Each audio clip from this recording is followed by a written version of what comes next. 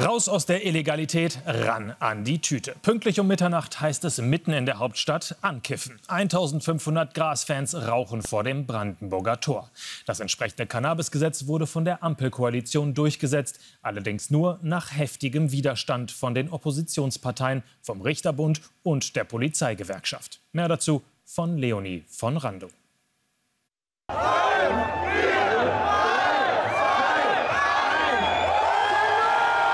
Nein, das ist kein Aprilscherz. Seit Mitternacht darf in Deutschland ganz legal gekifft werden. Ob etwa hier vor dem Brandenburger Tor oder hier an der Warschauer Straße, Berliner Cannabis-Fans feiern mit dem ersten legalen Joint. Und der kann manchen offenbar gar nicht groß genug sein.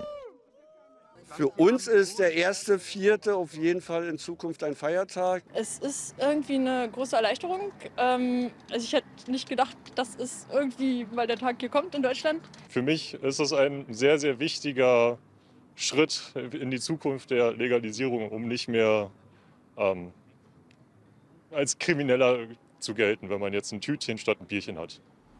Ab sofort dürfen Erwachsene bis zu 50 Gramm Cannabis zum Eigenkonsum besitzen sowie bis zu drei Pflanzen anbauen. Weiterhin tabu bleibt die Droge für Minderjährige. In der Nähe von Schulen und Kindergärten gelten Schutzzonen.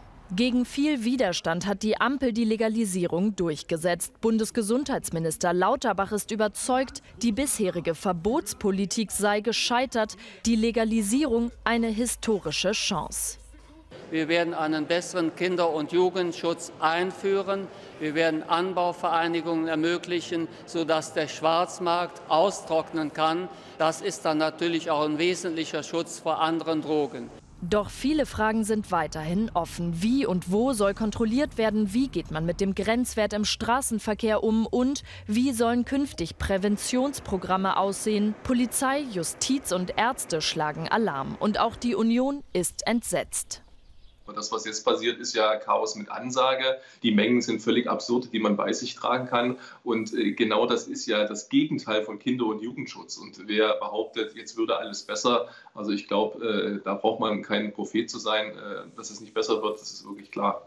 Sollte die Union nach der nächsten Bundestagswahl wieder mitregieren, will sie die Legalisierung wieder kippen. Aber darüber machen sich die feiernden Grasfans hier in Berlin Jetzt erstmal keine Sorgen.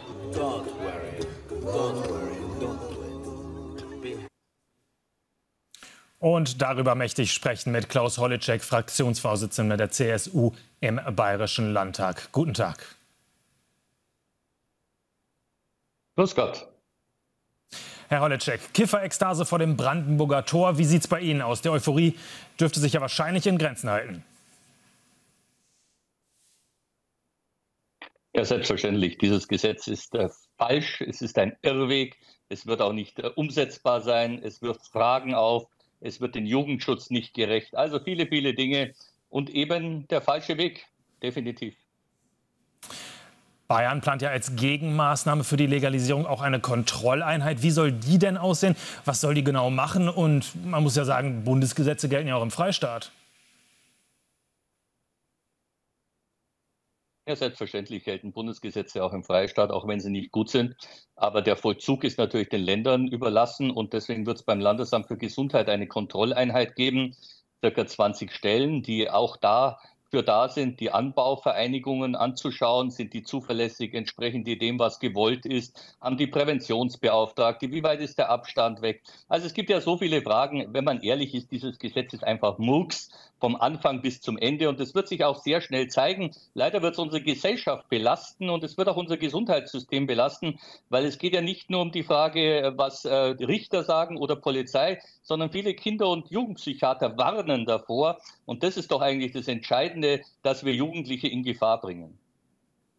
Bundesjustizminister Marco Buschmann, der rechnet ja damit, dass die Teillegalisierung von Cannabis auf Justiz und Polizei zumindest mittelfristig weniger Arbeit zukommt. Hat er da nicht recht?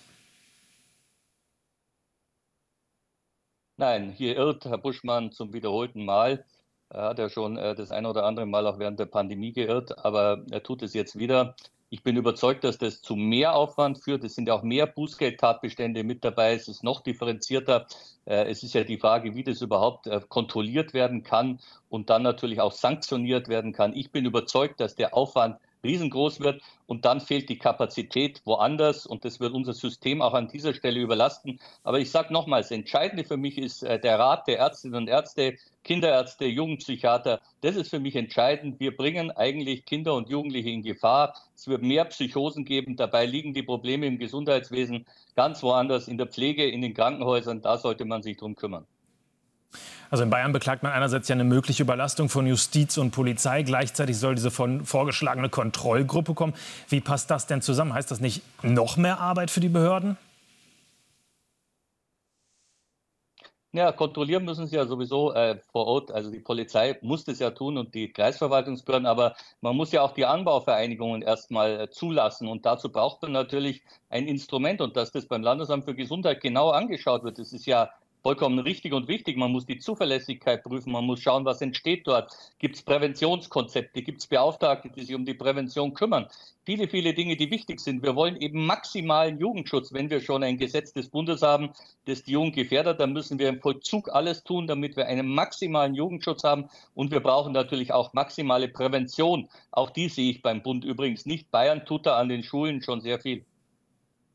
Wenn wir jetzt beim Thema Prävention sind, da hört man von Vertretern aus der Suchthilfe ja auch immer wieder, dass sie auch Vorteile in dieser Teillegalisierung sehen. So könnte zum Beispiel offener mit, den, mit dem umgegangen werden. Manche werden eher in eine Beratungsstelle kommen. Das Thema werde da gewissermaßen entstigmatisiert. Wie sehen Sie das denn? Gibt es da überhaupt Vorteile in einer Teillegalisierung? Ich glaube, dass es nicht entstigmatisiert wird, es wird verharmlost und das ist eigentlich das Entscheidende.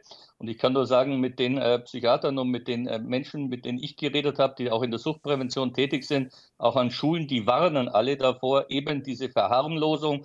Und es ist ja auch relativ viel Cannabis, das man jetzt haben darf. Die Frage wird ja sein, der Schwarzmarkt wird mitnichten ausgetrocknet, es wird ein grauer Markt entstehen und es wird eben eine Gefahr geben, auch für Minderjährige. Und auch im Straßenverkehr, wenn man ehrlich ist, sind die Themen noch nicht gelöst. Also von daher sind so, so viele Fragen offen und ich glaube eben, die Prävention muss an anderer Stelle angesetzt werden und da muss noch viel, viel mehr getan werden. Herr Oleczek, vielen Dank für das Gespräch. Wenn ihr mehr News aus unserem Team wollt, dann müsst ihr einmal hier klicken. Wenn ihr auf der Suche seid nach spannenden Dokus, starken Reportagen, dann geht's hier entlang. Und wenn ihr Welt abonnieren wollt, neu entdecken wollt, dann einmal hier klicken.